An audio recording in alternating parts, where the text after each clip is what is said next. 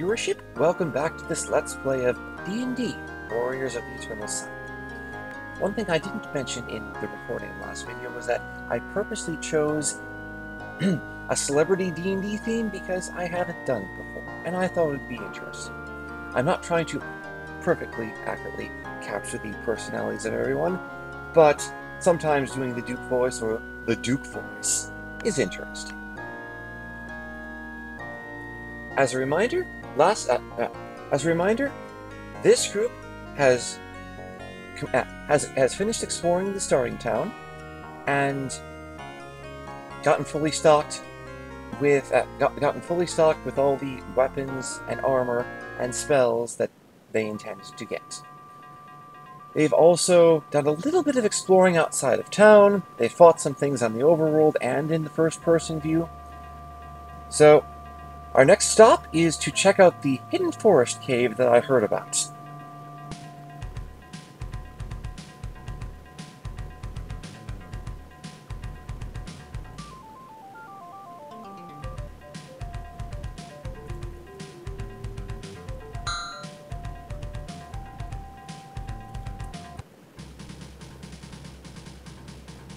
We are level 1. We've just encountered a freaking grizzly bear and hill giant.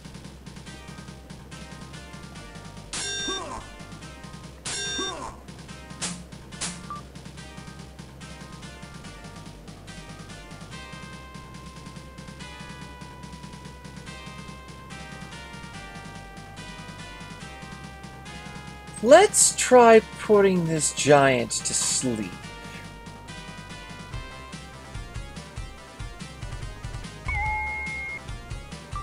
Not sure if it worked, but Siri is about to heal Fidel Castro.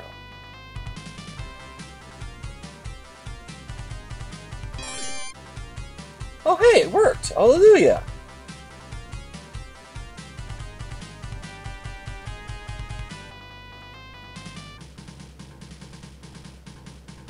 And now we might have it. I'm about to use a wand of lightning and we might have an occasion where Meryl Streep kills everyone. If so, we will reload.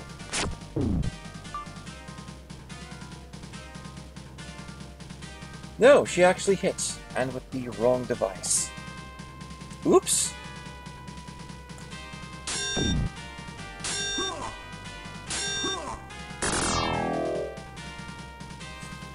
Oh no!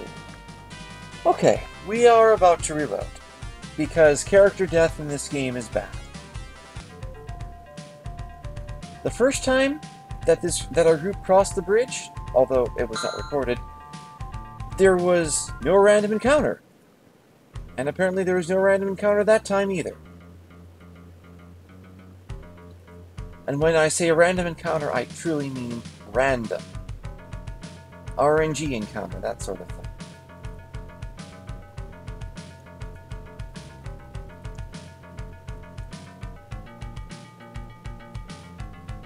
We are looking for the entrance to a cave that looks very similar to the rest of this forest.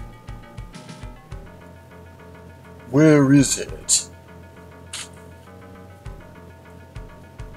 Siri, where is it? Loading, please wait.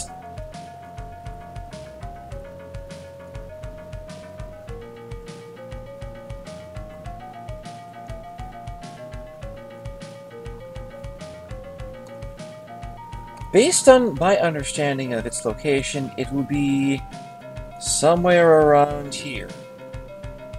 And by somewhere around here, I mean right over there. Time to save.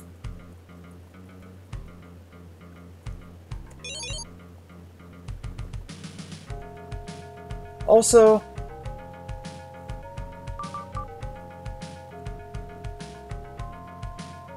time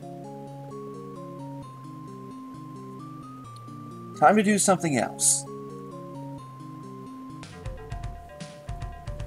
And time to load, because I pushed the wrong button. Loading, these ways.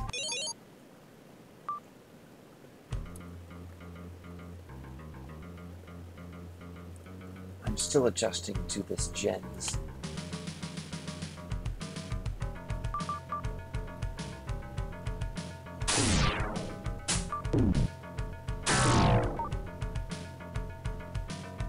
Okay. We beat it! Hallelujah! Inventory! We actually gained a notable amount of experience. Like, over 100 ex experience points per person, which is pretty good. Although I might just I might just be misinterpreting this. We still gained a lot of stuff, a lot of experience.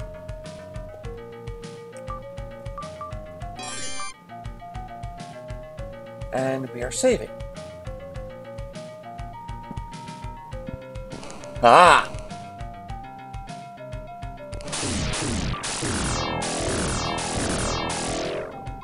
Note to self. Meryl, Meryl Streep just killed everyone.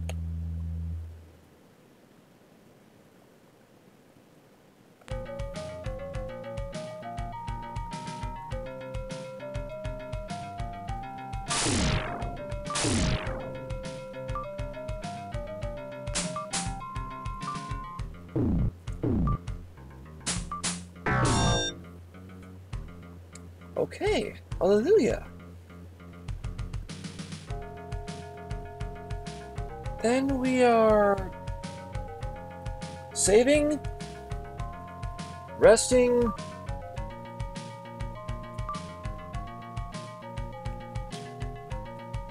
and then sleeping until everyone's at max HP. Because here's a trick I learned from the internet.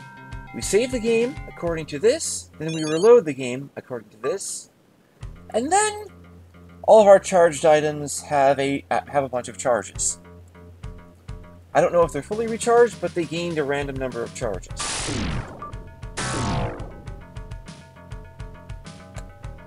That'll do.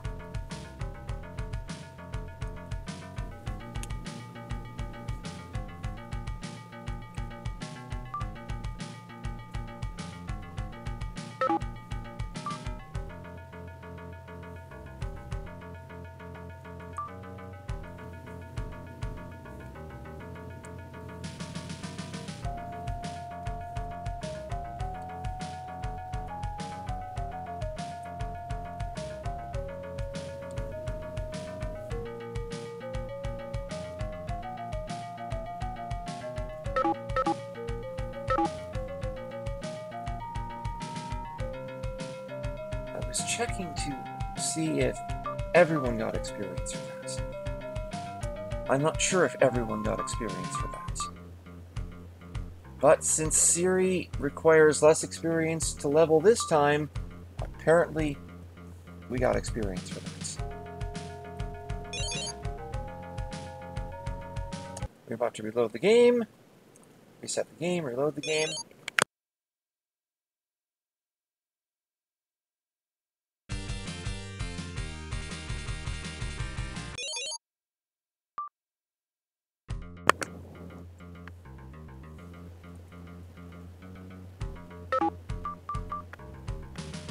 And, yeah, this one of lightning bolts disappeared.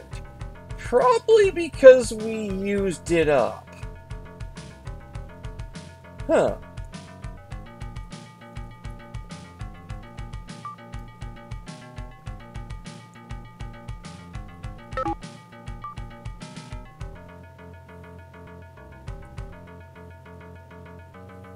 Well, in that case, maybe the guide I found online was wrong. Or maybe this is just a different version of the game where this no longer applies. Etc., etc.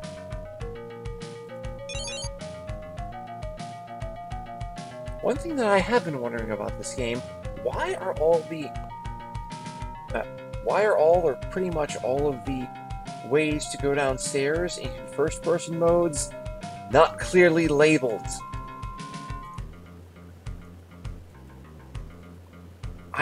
Really don't know. It's like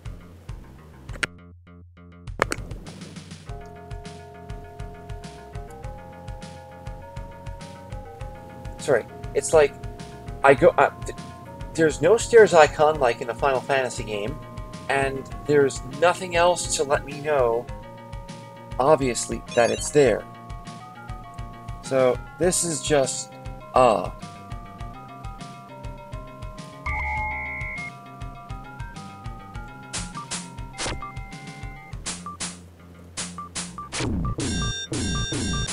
We're spamming the attack button until it dies. Hallelujah.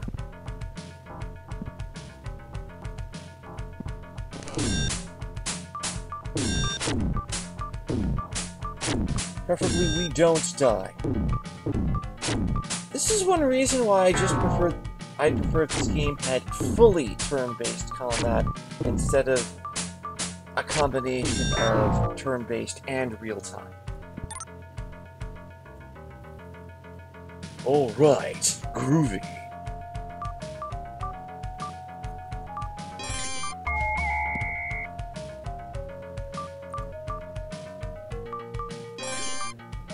Not what I wanted. Okay. Siri last time required 680 experience to advance to her next level.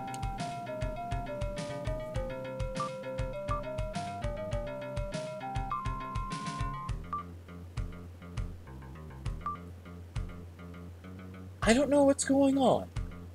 I don't know why the group doesn't seem to be gaining experience. Maybe experience is dealt to whoever does the killing blow. That's eh, that's right. If so, that feels very foolish to me. Because Duke just got a lot of experience, but Siri didn't.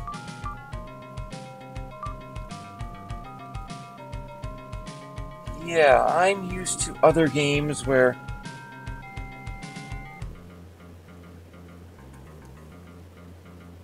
it doesn't matter who gets the killing blow. It doesn't matter sometimes even if you technically kill the enemy. If you win the fight, everyone gets an equal share or approximately equal share of experience. Sometimes adjusted for level. For example, someone with a higher level would get less experience than someone with the lower level.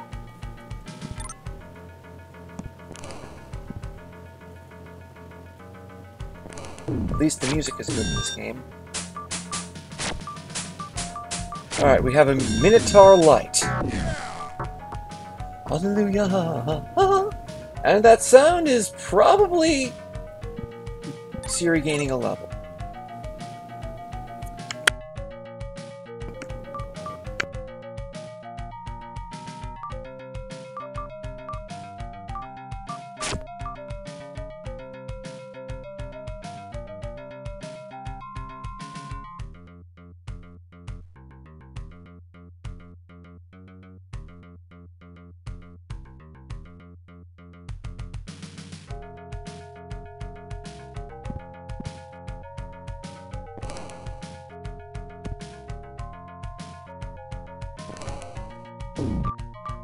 News.